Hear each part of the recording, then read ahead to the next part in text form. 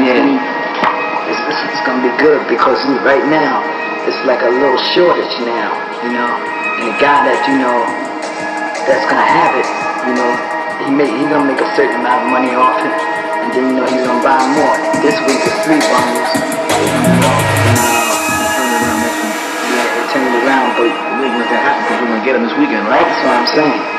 You know, so it, it's gonna be even dry, so everybody's gonna be trying, you know, get as much as they, you know, they can. As soon as he breaks it out from the vault, you let me know, Without a doubt.